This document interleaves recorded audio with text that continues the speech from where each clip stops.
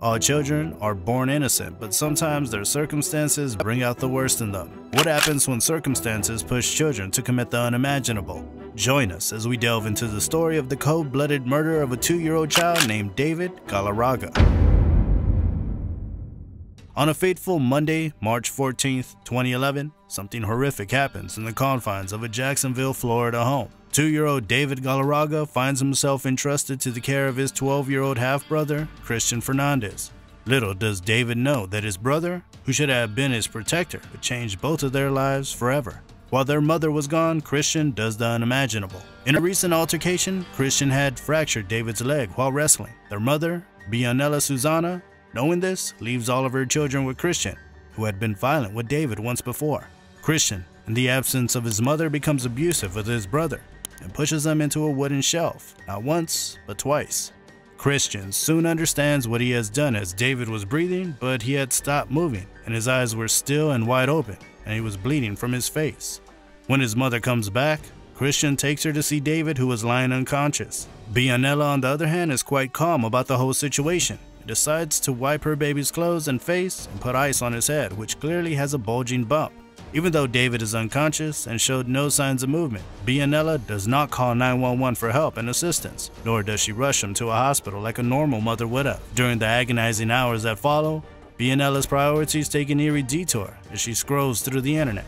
However, her search history will shock you. While her child is unconscious in the same room as her, she decides to do some online banking and watches YouTube videos, something that a stable person wouldn't have done. She missed the boat and wasted her precious time that could have saved her child, reading stories of celebrities. She also searches for phrases like when someone gets knocked out and coma, and also visited a specific website about concussions multiple times. Bianella thinks that this is just a concussion and that her baby will wake up after a while, while she waits a whole four hours for him to wake up and finally decides to take him to the hospital when he hasn't.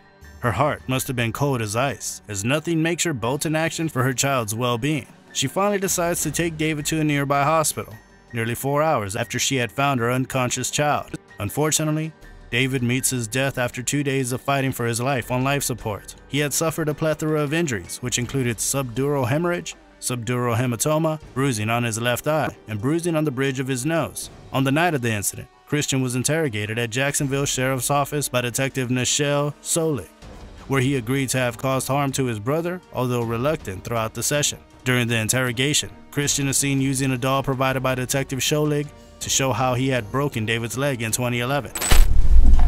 You, so you don't want to turn two? I think he's doing it tomorrow. Okay. I think he's two, but maybe he's going to be three pretty soon.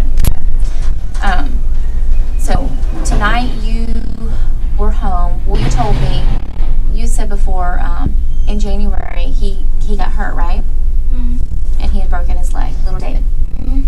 The detective asked, Did you hear a snap? To which he replied, Well, sort of. He started crying, so I stopped. There were instances where Christian would take long pauses, and both Scholig and Christian would just look at each other. At first, Christian said that David was carrying books on his head which caused him to fall and hit his head.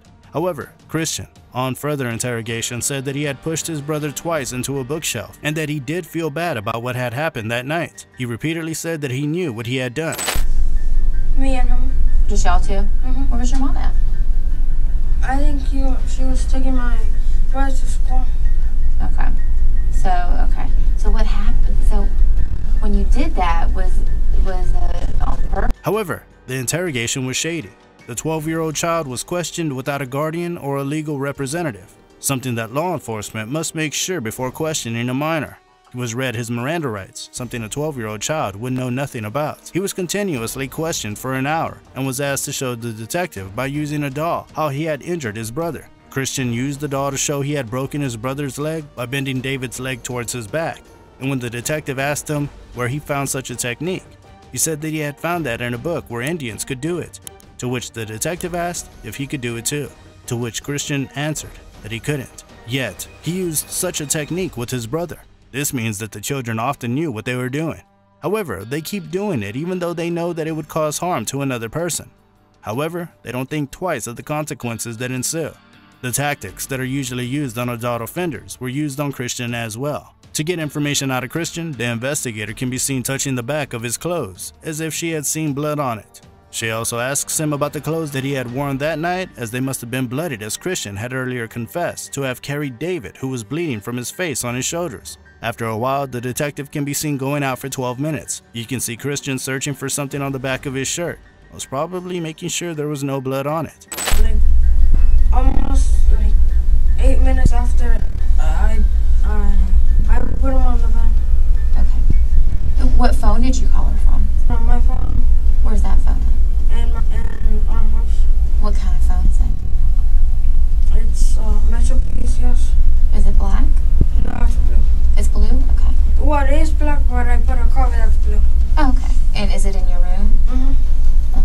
Christian was asked why he had pushed David twice, to which he answered, I don't know.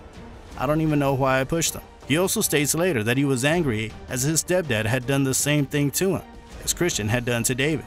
Years of pent up frustration was taken out on David that night. His bitter thoughts had gotten the best of him. Christian was initially arrested for aggravated child abuse. However, David's death turned the tables, and he was indicted for first degree murder of the child.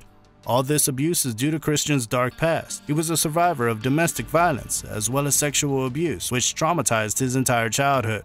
Bianella had Christian when she was just 12 years old. His father, Jose Antonio Fernandez, was 20 at the time. However, he never played much of a role in his upbringing and completely vanished from his life when he got the chance. There was a time when Christian and Bianella, 14 at that time, were removed from her mother's custody and were put into foster care as police had found two year old Christian dirty and naked and walking around by himself outside a Florida motel, while their grandmother was intoxicated on drugs in one of the motel rooms.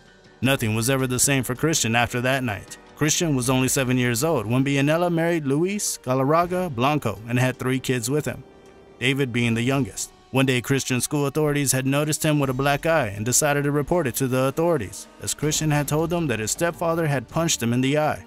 Luis was asked to come to the school meeting for questioning. However, he didn't show up, and the police decided to bring him in. However, something horrifying awaited the officers. They never imagined that a small girl covered in blood would open the door for them. Luis was found dead in the house. He had shot himself in the head, and that too in front of the kids. The kids were drenched in blood and were frightened and clearly traumatized by what they had seen.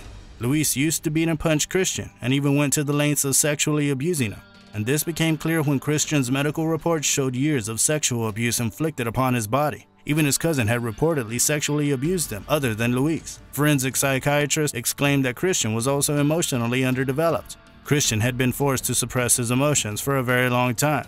He had learned to bottle up his emotions, as it was evident in an interview with a counselor where Christian says, You got stuck up feelings and get over it.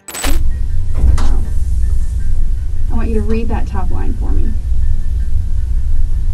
You have the following rights under the United States Constitution. Okay. You do not have to make a statement or say anything. Do you understand that, Christian? Anything you say can be used against you in court. Do you understand that, Christian? You have the right to talk to a lawyer for advice before you make a statement or before any questions are asked of you and to have the lawyer with you during any questioning. Do you understand? Christian's request to be tried as a juvenile was denied by the court initially. However, his case blew up like wildfire. Many activists advocated for his rights as a minor and to consider his past as a survivor of sexual abuse. In February 2013, Christian Fernandez pleaded guilty as a juvenile to manslaughter and aggravated battery. He was eligible to be released by the Department of Juvenile Justice in 2018 on his 19th birthday. His mother, Bianella, also received a suspended sentence of 10 years with probation and avoided additional incarceration, although the court had earlier decided to make her go through a separate trial for aggravated manslaughter for David's untimely demise. The idea that kids are killing other kids makes me feel horrified, but not as horrified as when I found out about the daughter who killed her mom by stabbing her 200 times. Click that video right here.